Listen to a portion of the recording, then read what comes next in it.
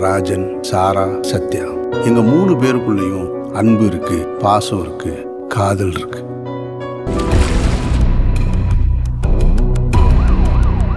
இந்த பிரச்சனையை யார் தொடங்கினாங்க? எப்படி நடந்துச்சு? எங்கிருந்து ஆரம்பமாச்சு? எல்லாமே மாயமா இருக்கு. வாழ்க்கை எப்போதுமே ஒரு மாயவா